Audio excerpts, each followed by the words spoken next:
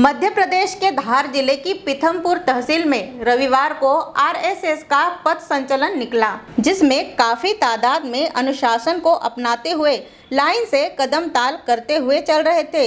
विश्वास नगर से शुरू होकर हाउसिंग बोर्ड कॉलोनी, छत्र छाया, जयनगर मुख्य मार्ग होते हुए हाट मैदान नए बस स्टैंड पर समापन हुआ।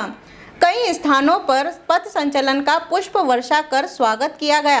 पीथमपुर से संजय सोनगरा की रिपोर्ट। स्वयं सेवक संघ का जो पीथमपुर में भव्य पथ संचलन निकला, उस पथ संचलन के लिए मैं आप सभी को बहुत बहुत धन्यवाद देता हूँ, बधाई देता हूँ। आगे भी इसी प्रकार राष्ट्रीय कार्यक्रमों में सभी हम पीथमपुर क्षेत्र की जनता बढ़ चढ़ करके हिस्सा लें और उसमें हम सब हमारी अहम भागीदारी भागीदारी रहे ये राष्ट्रीय स्वयं संघ स्वयं सेवक संघ एक राष्ट्रीय संघ है और इससे सब हम जुड़े और बहुत अच्छा संघ है।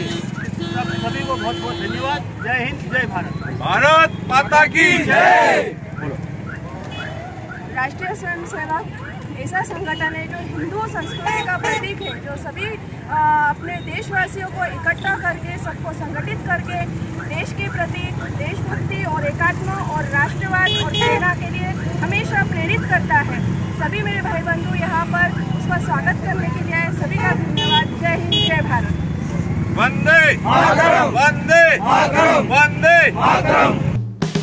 हेलो फ्रेंड्स आप देख रहे हैं हमारा channel S W twenty four news हमारे सारे वीडियो सबसे पहले देखने के लिए आप हमारे चैनल को सब्सक्राइब करें और पास में लगे बेल आइकन को दबाना बिल्कुल भी ना भूलें।